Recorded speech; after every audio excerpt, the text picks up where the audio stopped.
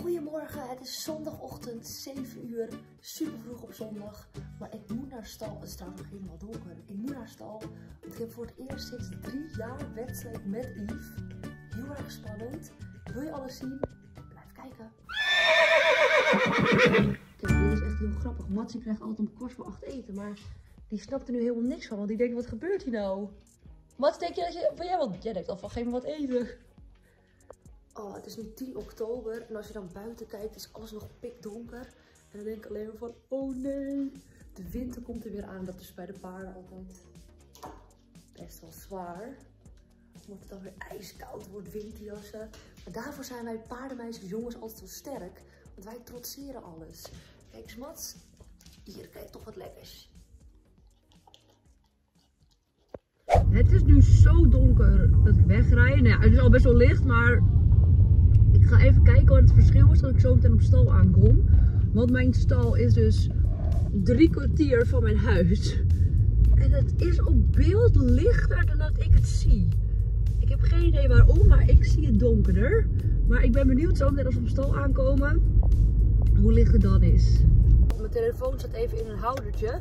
Maar wat ik dus wilde zeggen is, Normaal uh, zijn er bij ons op stal vanaf 8 uur mensen. Dus om 8 uur krijgen de paarden piks. Uh, dan meteen hooi. En dan een kwartiertje later gaan Yves en George al meteen met Handsome en Sorrow in de molen. Maar ik ben er nu 8 uur op stal. Maar ik kan niet 8 uur Yves meteen uit stal halen, knotjes maken, uh, beentjes wassen. En dan heeft ze nog niks gegeten. Dat is super slecht. Paarden moeten altijd eerst ruwvoer hebben. En hun biks is veel minder belangrijk dan het ruwvoer omdat jullie in de vorige video misschien geleerd hebben dat paarden alleen speeksel aanmaken als ze kauwen. Dus wat wij de hele dag in ons mond hebben, het klinkt een beetje vies, maar dat, dat natte kwijl, dat krijgen paarden alleen als ze dus kauwen. En dat, als ze de hele nacht gewoon bijna niks gegeten hebben en dan staan ze dan met een droge mond, dat klinkt al super heftig. Dus Liz, die is er vandaag een kwartiertje eerder. En als het goed is, is ze er bijna. En dan is Yves al lekker aan het eten. Maar jongens, zo spannend om voor het eerst weer op wedstrijd te gaan. Kan namelijk heel veel zijn. Maar ze is meestal altijd wel lief. Het zijn meer mijn eigen zenuwen. Eigenlijk is Yves altijd heel lief. Maar kan ze een beetje zenuwachtig zijn. En dan kan ik ook zenuwachtig worden. En dan versterkt het elkaar. En dan ben ik eigenlijk bang voor niks. En dan wordt Yves ook weer bang om mij voor niks. Maar ik ben heel benieuwd. En gewoon drie jaar geleden. Ik heb wel echt heel veel zin in. Het zou echt leuk zijn als het goed gaat. We mogen set 1. Yves, die was gisteren al zo blij, jongens. Ik ging gisteren Yves wassen, heel mooi maken. Dan krijgt ze altijd vet veel lekkers. En je zag gewoon echt dat ze dacht van... Yes, ik mag weer mee. Ik mag weer mee. Dat was zo lief. We zijn bijna op stal, maar ik vraag me af of ik mijn stal ooit kan vinden. Je ziet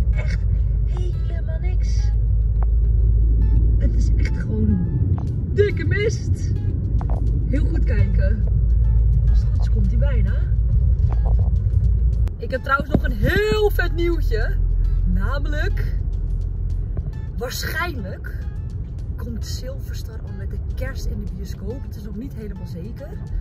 Maar de trailer komt sowieso of aanstaande vrijdag of die maandag erop. Als die af of uh, vrijdag online of maandag. Maar hoe vet! Jullie kunnen dus bijna van een nieuwe bioscoopfilm de trailer en de eerste beelden zien. Ik kan echt niet wachten om het aan jullie te laten zien. Oké, we zijn er! Ah, ik had het wel wat mooier weer verwacht. Ze zijn een dikke zon. Ah, dat komt zo nog wel. Kijk, daar zie je al een beetje zon komen. Weet je wat trouwens het handige aan Yves is? Ik heb hem gisteren gewassen. En je hoeft helemaal niet bang te zijn of hij niet meer wit is. Want hij is donkerbruin. Oh, dat is bij George altijd zo'n dingetje. Ik ben bezig met de vlechtjes. Ik had gisteravond dus al deze staartjes gemaakt. Want ik dacht, het scheelt weer iets. Het is nu kwart over acht en ik moet om kwart voor negen weg. Um, ik moet nog best wel veel doen, dus het wordt spannend. Maar Yves heeft er volgens mij echt zin in. Yves, oh, je hoofd moet ik ook nog schoonmaken. Die is een beetje vies. Maar je voetjes zijn wel mooi wit gebleven. Ah. De vlechtjes zitten erin en nu ga ik met naald en draad de vlechtjes vastmaken. En als je wilt leren hoe dat werkt, dan moet je even de video wedstrijdroosjes intikken. Kijk, nu zijn alle vlechtjes klaar. Oh, heb je toch een mooie bles. De vlechtjes en de knotjes zitten erin. En ik zet nu even mijn vrachtwagen alvast klaar, dat Yves er goed kan inlopen. En Yves plast altijd in de vrachtwagen. George kan het niet, dat is best wel zielig. Dat, dat, dat, doet hij gewoon niet. De meeste paarden doen het niet, maar Yves wel. Dus ik leg al wat stro in. Zodat het plas niet tegen de benen aankomt. Klinkt een beetje vies. Maar dan is het net een soort rijdende stal. Hij staat klaar. Oh, ik heb alleen nog poep van George erin. Dat is altijd zo irritant. Heb je nooit meer zin om het op te ruimen terwijl de mest op zo dichtbij is. Ik schuif het maar even aan de kant. We hebben net gereden en Yves was in het begin mega, mega wild. Uh, ik ga jullie even de video's laten zien van het logeren. Oké jongens, ik ben even aan het uh, logeren, want hij heeft een beetje veel energie. Oh, kijk even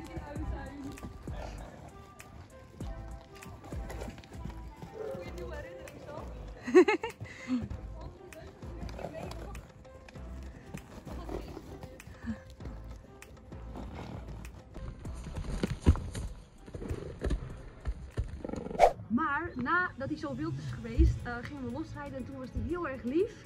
En toen gingen we ons proefje rijden en kijk even mee.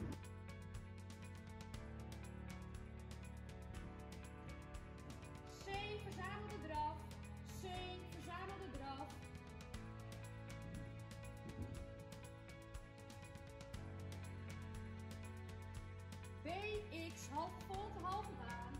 BX, halve volte, halve baan.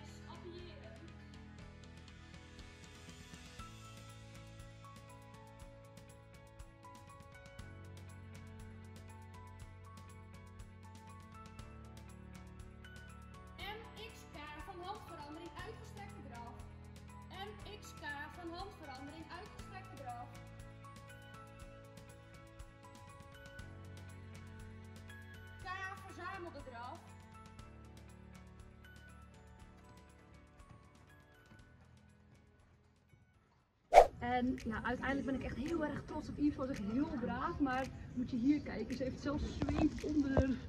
Dat zei jij net hè Stan, onder de frontriem zoveel zweet. Maar goed gedaan, Yves, je mag nu lekker in de wagen. En volgens mij vond je het leuk. Ik wilde gewoon graag weer een keertje mee. Oké jongens, Yves heeft altijd mega jeuk aan zijn hoofd als hij zweet heeft. Dus ik doe even zo op zijn hoofd lekker met een handdoek. Kijk hier over die zweetplekken. Altijd lekker een beetje naverzorg. Oh, jij zou ook wel dorst hebben. En ik heb een lekker appeltje. Die heeft mijn moeder meegenomen. En ik denk dat je die wel heel lekker vindt. Kijk eens. Oh. Die heb je wel verdiend.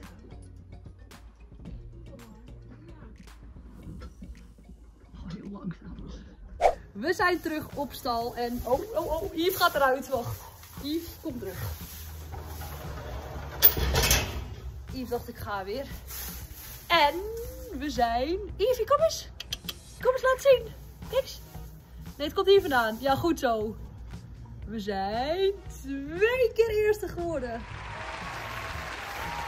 Echt heel erg blij. Zoals ik al vertelde ben ik van drie jaar niet op wedstrijd geweest met Yves. En Yves is altijd echt heel wild. En ja, kan heel lijp zijn. Ik ga nog even deze foto laten zien. Kijk hoe erg en hoe hoog die gingen stijgen.